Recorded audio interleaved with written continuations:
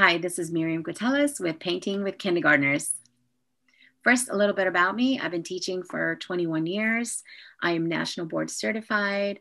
I am special ed trained. I've been doing a uh, education blog now for about 12 years. You can also find my YouTube channel, and I have a ton of art projects for both uh, students who speak English and Spanish a lot of what I have learned have actually learned when I worked at Studio in a School in New York City.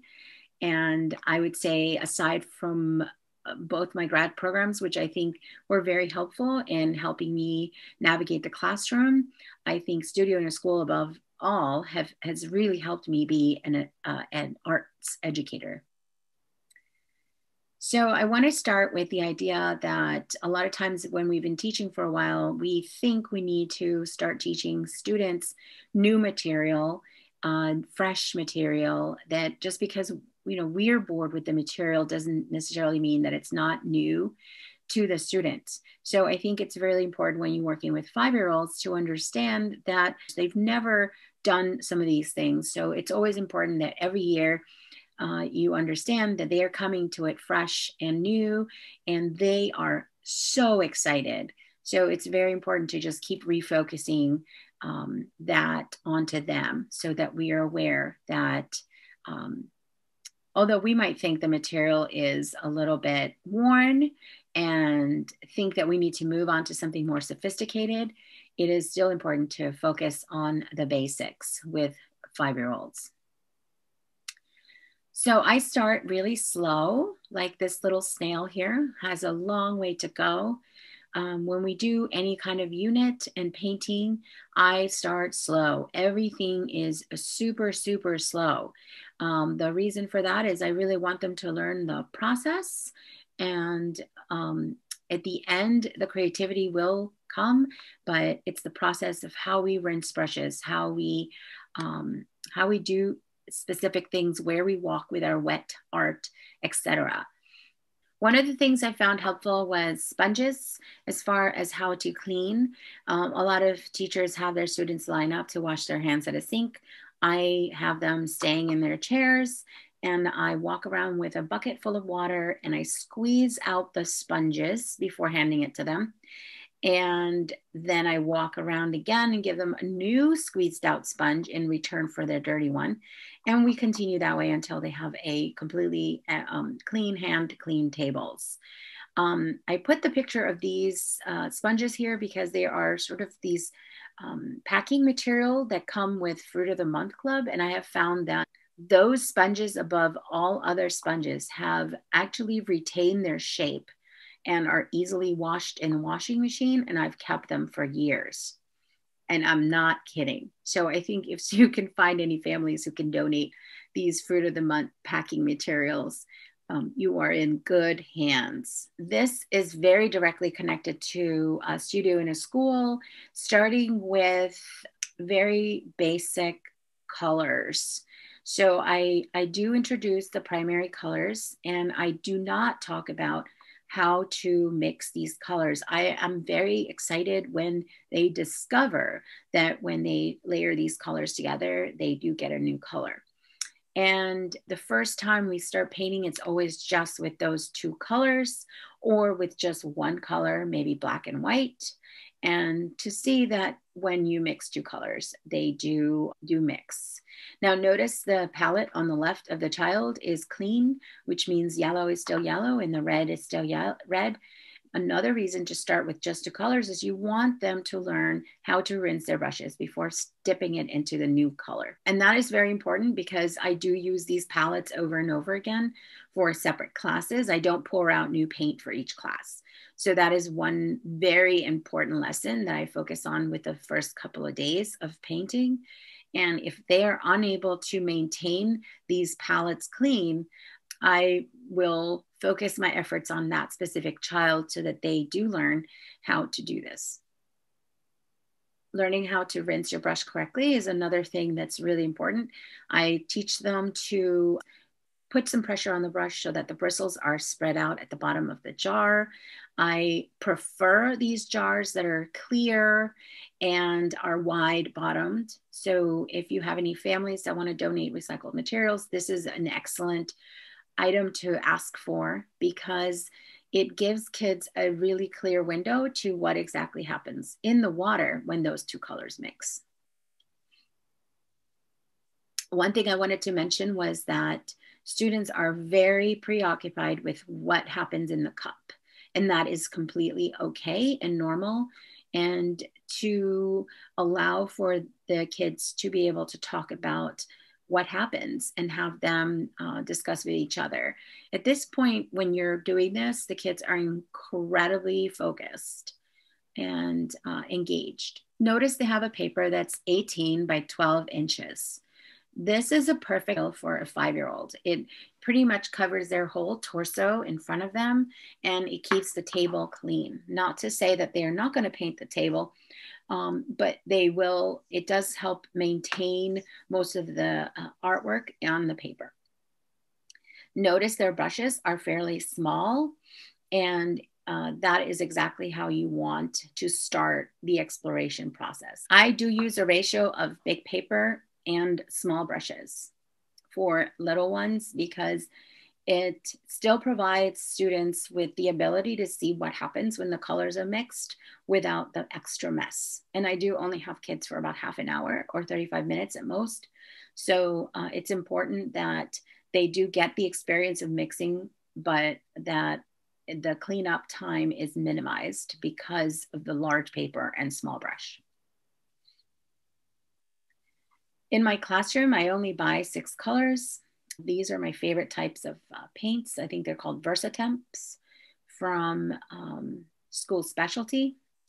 And I do use egg gardens as my palettes, and I do use them over and over and over again until a weekend comes, and then they, of course, are going to dry off, or I'm unable to maintain them moist until the next day.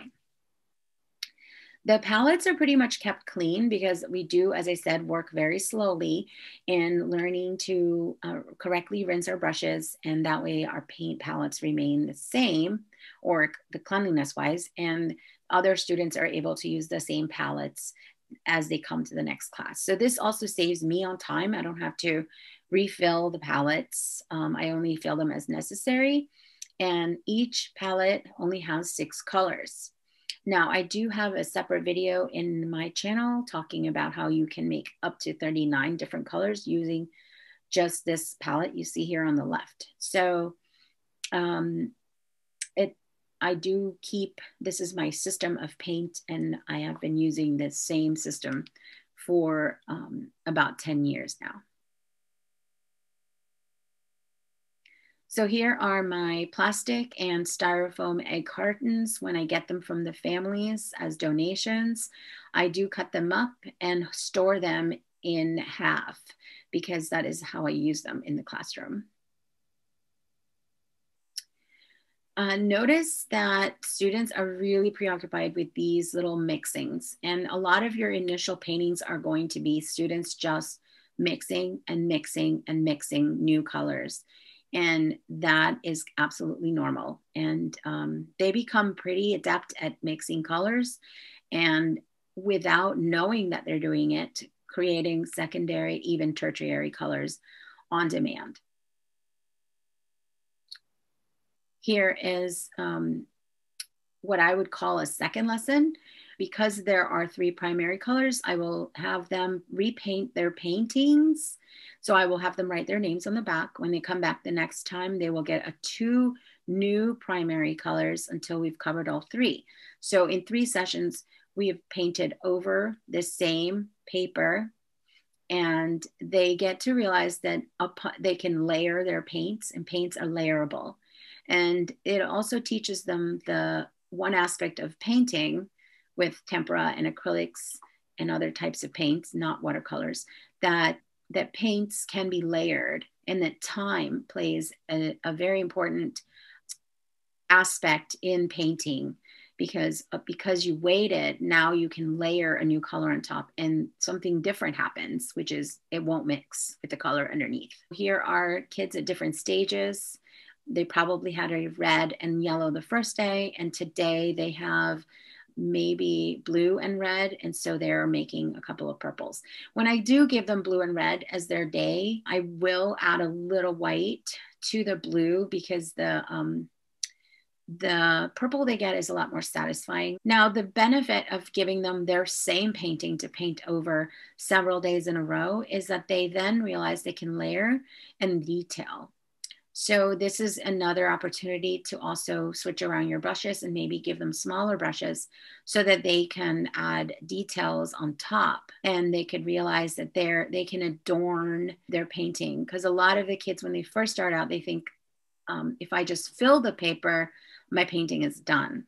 But in fact, if you fill the paper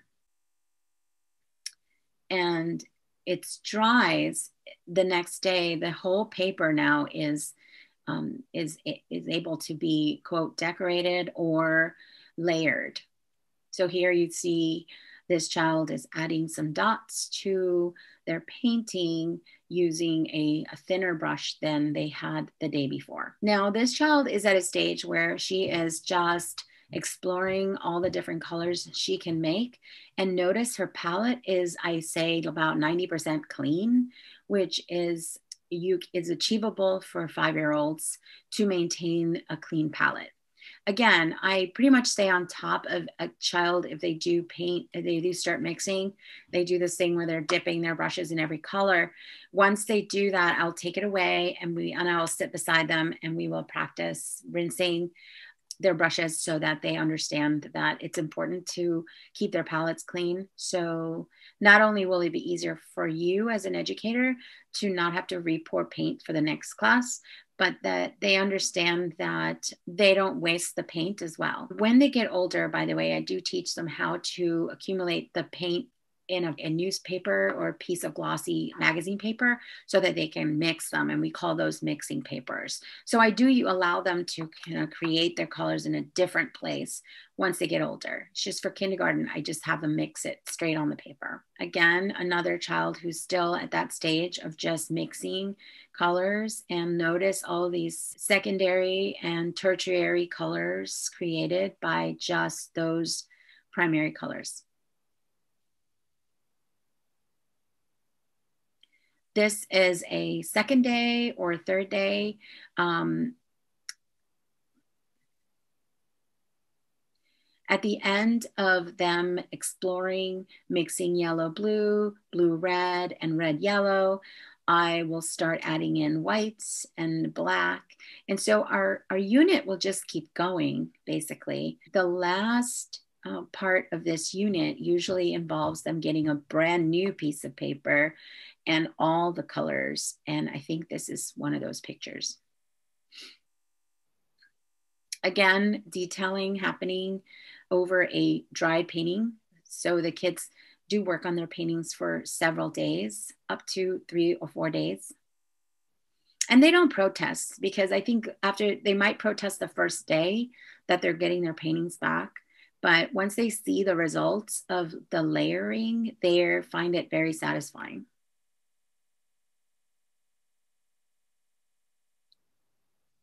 So here, I believe it's just the child only has blue and red.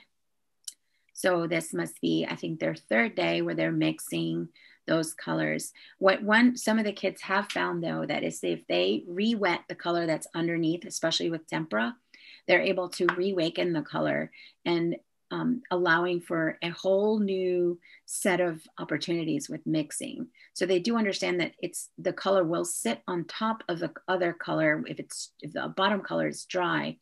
But if they're able to use water to re-wet the bottom color, it will remix with the new wet color. So again, a lot of a lot of discoveries are happening, and there's very little work I'm doing besides walking around and making sure that they're not eating the paint. So there's a lot going on. Um, and they're fully, fully engaged during this time.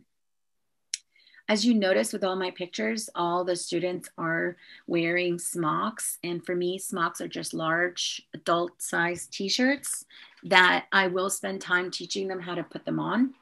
Uh, for all kindergartners, we do do a full lesson at the beginning of how we walk into our t-shirts by laying the t-shirt face down on the table and how we crawl inside and open our arms and then put our heads through. Um, this allows us to save a lot of time because if I were to put a t-shirt on every child in a 35 minute class, we would not have time to paint. Um, I also want you to notice with this photo that the painting is so dynamic and exciting and there's just so many things going on in there. And that, that um, the fact that we use time to our advantage and allowed each exploration period to uh, dry and then have them come back to it really does allow for that. Here are some other um, kindergarten paintings. These are obviously still wet. This has, is one of my favorite, favorite paintings. Um, it's just so many things going on in here. Look at all the secondary and tertiary greens, um, colors going on. And again, only primary colors, only three colors were used to make this painting. Here again, I think we started using um, after I give them the three primary colors, I will then add white and that adds a whole new other level of mixing possibilities. Notice I also never tell them what to paint. Students come ready to paint whatever it is that they are excited about, and that is perfectly acceptable. They're welcome to share it with me when I come around. Here is another painting with, of course, um, there's lots of detailing on top. Now I'm going to move on to watercolors. Again, I'm not actually sitting there teaching color mixing or uh, about evaporation, for example. A lot of this learning happens just incidentally, just from them being involved in the lesson. So um, and I find that that kind of learning is a lot more valuable, a lot, it lasts a lot longer. Um, of course, later on, you might want to go ahead and put names to those concepts that they already know instinctually. But definitely, I will not sit there and bore five year olds with uh, the color wheel. So we start with watercolors again, how to treat the palette. Look at that beautiful palette and how to keep it clean and um, they, of course, get a gorgeous watercolor brush. And we talk about how to use the brush like a spoon to bring water to the sleeping color. And we call the color in the palette sleeping because it's not wet. And then we create a little puddle and then we mix the color and now we woke up the color. So, um, and we do a lot of explorations. Uh, I will use a document camera to show how I pre-paint the colors. And um, again, I also have a Science of Watercolor video in my YouTube channel, which you're welcome to look at. It has a lot more information about how exactly I will demonstrate some of these concepts. And again, I will introduce them to just a few simple uh, ways to explore with watercolor and then they will go to town and explore on their own. Notice the papers are really small, partly because watercolor paper is very expensive, but also I just wanted to contain it. There's a certain sense of satisfaction with finishing up the paper and with watercolor because it's so absorbent a lot of times if it's a larger paper there's a certain sense that you didn't finish or that it looks unfinished at the end um, so the paper size will correspond directly with how much time you have now, if I had an hour with these kids, I would give them maybe a 9 by 12. But because this is a 35 minute class and I probably spent about 15 minutes going over some of these um, concepts in my first class, and this is their exploration, I do need to give them a smaller piece of paper. Here's another child exploring and notice how the colors are running. Um, there's a lot of just a complete engagement. Kids are really excited about what happens if. Here, a child picked up his painting and is uh, tilting it and watching the color run. And as it's running on the paper, is also painting it. Here, a child is making lots of lines by using an overly wet brush with loaded with paint and seeing what happens when she tilts the paper.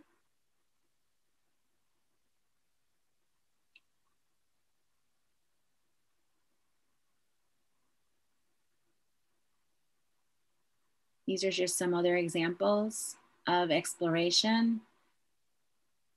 And we do work with drops. You know, we start working with like loading the brush with drops and putting those drops on the paper. And then maybe if we want to mix another drop and keeping it with the whole concept of drops also allows it to be really, really uh, clean, clean and easily cleaned at the end. They do learn a lot about water and the and the properties of water just again naturally so um, there's a lot of science lessons in there.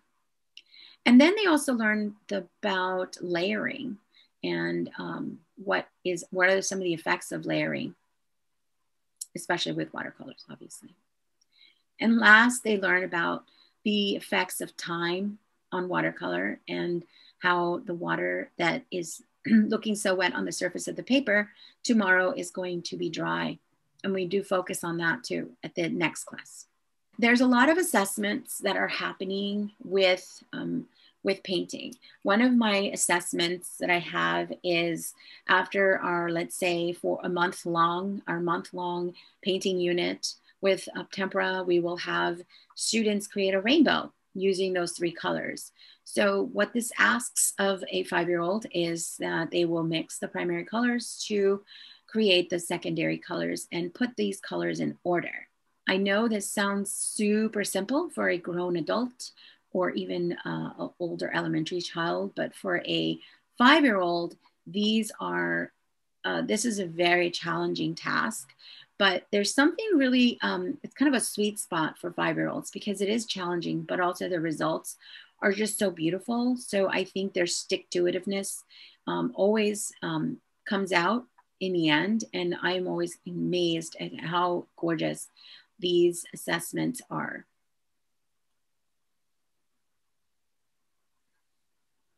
So here you notice the child made an orange with red and yellow for the for the orange and then yellow and then made their own green from those primary colors in the palette. Sometimes the students will use an empty hole in the palette for mixing colors and I will dissuade that from them because um, in the future I will allow them to use um, magazine paper to mix their colors. Um, the only reason is because I do use these palettes over and over and over again with about my, my four or five classes during the day. So it's important that they learn how to keep them clean. But in their own home, if they're painting, obviously they can use um, those empty um, spaces to mix colors. Um, I do teach them about brush size by just using one color. And this I learned from my special ed training when you're assessing one thing, you know, make it nice and clean and um, simple. And so here I wanted to teach them uh, thick, middle, and thin lines and how to use one brush to achieve that.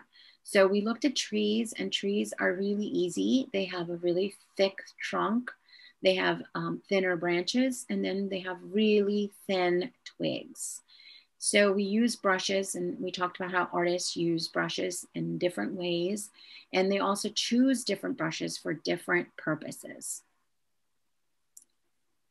Um, we do use a lot of visual resources, and they are varied and the purpose of offering varied visual resources is so that they can um, feel really good about their results because all their results will actually look very different, and that is okay. So, this is day two or three on our cherry blossom uh, trees, and notice the differences in all these trees. They're all incredibly beautiful in their own way. And um, sometimes, depending on what supplies I have, I'll have them use a stamp for um, the cherry blossoms, where in which they mix a stamp, meaning like a cork top, maybe, or cork, in which they dip in white or red. to create pinks. And then the third day would be use oil pastels to add other details such as grass and flowers and uh, birds and clouds and so on. There's so many good ways to go through this. But again, the emphasis here their uh, own interests. I mean, whatever they draw on the ground is up to them. They can draw insects, flowers, grass. There is um, numerous opportunities for them to individualize their work. Again, here is, a, uh, look how different everyone looks. These are, um, they do have some visual resources there but again all their all their work is unique. They were able to achieve thick medium and thin lines. And so in in essence all of all of what they do is being looked at and assessed. You, we also work with paint to create texture. And this is less of a mixing color exercise than it is to see, um, to learn about texture and all the different types of textures we can create with paint. Uh, and again, we're using time to um, learn that once the paint dries, it will feel a certain way or it will look a certain way. This was part of our Eric Carle unit and we painted different papers in and then we textured them with different colors and then we sorted them and cut them. Uh, we put them in a shopping area in baskets, and then they were able to use them to create um, uh, animals and their babies. So we read a book by Eric Carle called El Canguro Tiene Mamá, and it means Does a Kangaroo Have a Mom? And we created different animals with their parent. And um, this is after a unit on drawing and how to combine shapes to uh, create animals. So they had a lot already in drawing. So they had a lot of skills that they have gained from our drawing unit in which they combine basic shapes to create recognizable animals and objects. So this came at the end of that. These are just some examples of the um, unit. Um, I do use a lot of recycled materials in the classroom, and which is um, another way that you can have paint going on and layering. You can use this over two days. You can have them dry and come back and use different materials, different colors. It's really up to you. Notice the paper is quite large. It is double a um, 12 by 18. It's pretty big. These tend to be a little messier, so I will go big. I will give them bigger paper. Um, so we use all kinds of materials that parents might donate, tops, corks, um, wooden pieces. Oftentimes with these stamp projects, I will do a group work. And this one was one that we did with Swimmy. And so it was a really large piece of paper, and they used blue and white to create light blue, which is a great color mixing unit. Then they used um, paint, white and blue paint. That was, we had these jars that they stuck in the paints to make these bubbles. And last, they um, had created these orange fish or I gave them a shape. I'm not quite sure, but I know that we ended up using doing this mural over three days. Now, the last purpose that I use paint for is to paint over drawings that they've done. And I tend to kind of stay away from that. It's only if at the end of the year, if I see, I see my kindergartners three times a week. So at the end of the year, I have used every, every uh, media and so they've already done a lot. So we start thinking of other ways to include paint. And in this case, they all traced a quail because we had read a story about a quail and then they had painted. So in this case, they will trace, they will paint over stuff that they've traced or they've drawn. Um, this is another way I've used paint. In this case, I think we used the tempera cakes which offer more than the colors that I normally give them. But it's a good opportunity to review how to use watercolors, which are very similar to tempera cakes, especially in the way that you'd use them. So for example, here you would use, you would have them create a drawing and then paint inside. Um, but again, I, that is not my preferred way of working. It's usually, it's usually just at the end of the school year, we might have some things to do, but this is not really how I would teach painting. Another really fun project they love to do is folding the paper and painting one side to create a butterfly. And these are just some examples. This is the folding one. And this I think they pre-drew. So you can tell the difference because they're not symmetrical. But this one, uh, they did paint on one side. You might have to slightly pre-draw the shape that they need to follow because I don't think they will know.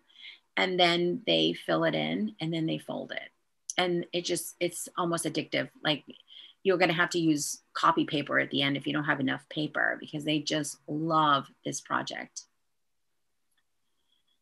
um, I do a lot of sculptures in my classroom and we use paint to paint the sculptures. And I have a very specific way I do that.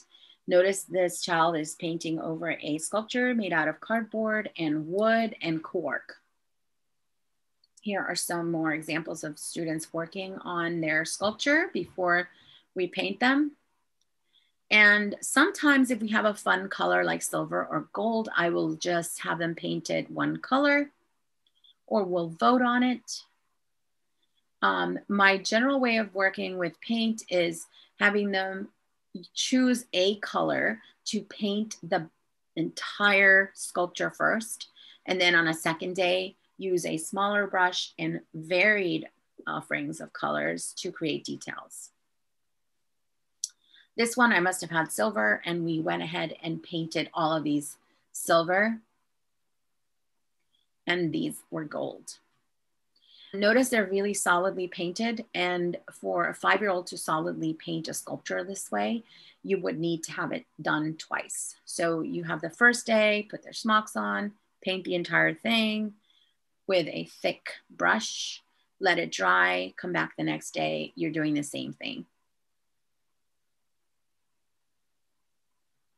And they really enjoyed this. This is, um, it was just a great finished product for them. I hope you enjoyed this video and I hope this was helpful for you to teach kindergartners with painting. If you have any questions, please include them in the comments. Don't forget, like this video. Thank you.